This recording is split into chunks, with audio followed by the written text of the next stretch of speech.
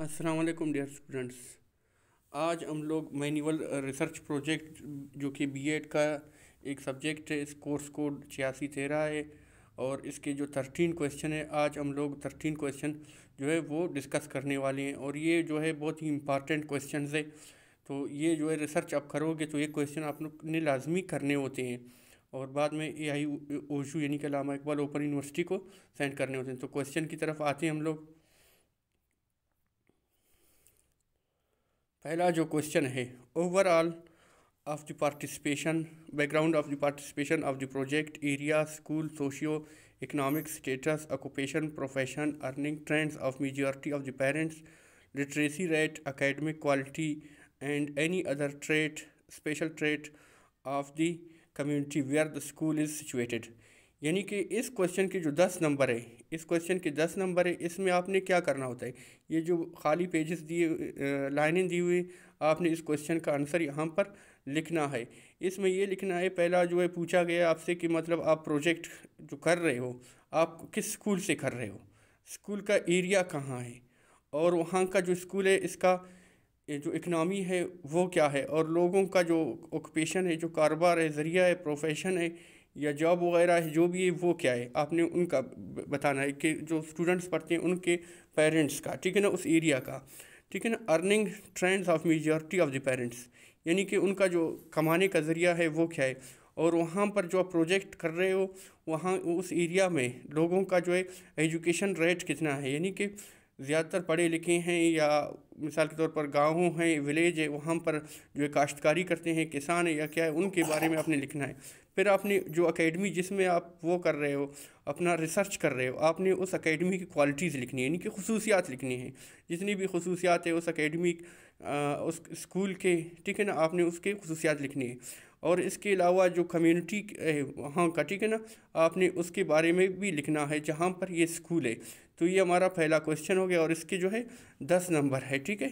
फिर आते हैं दूसरे क्वेश्चन की तरफ़। ठीक है?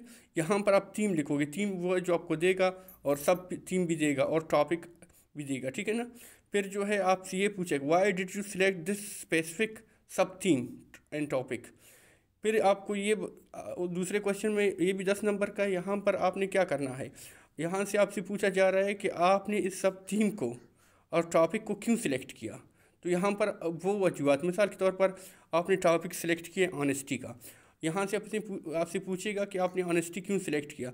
तो आप जो है अपना जवाब बताओगे कि मैंने इसलिए किया क्योंकि इसके जो बहुत से फ़वाद है, इससे जो है हमारा जो काम है वो हर काम अगर हम मुखलसी से करेंगे, ईमानदारी से करेंगे तो वो काम हमारा सही हो जाएगा। मतलब इस तरह का जो है लिखना है।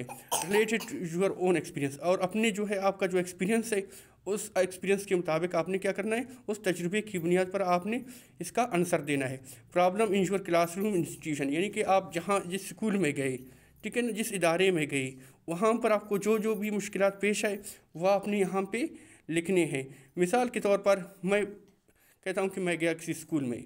मुझे वहाँ पर जो है मुश्किल पेश आए मतलब स्टूडेंट्स थे, मैं पहली दफ़ा गया तो मुझे एक्सपीरियंस नहीं था कि किस तरह जो है क्लासरूम को कंट्रोल करना है।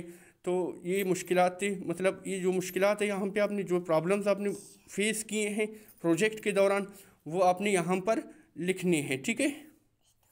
फिर आते हैं क्वेश्चन नंबर थ्री की। सॉरी टू एक्स की तरफ़। इसके भी पाँच मार्क्स हैं, ठीक है ना? What was your discussion with your colleague friend senior teacher और सुपरवाइज़र रिगार्डिंग द प्रॉब्लम यानी कि उसमें जो है, आपने जितनी मुश्किल थी मतलब आपको पेश आए थी, अभी आपने अपने कुलीग जो आपके साथ प्रोजेक्ट कर रहे हैं, उनके साथ आपकी क्या बातचीत हुई?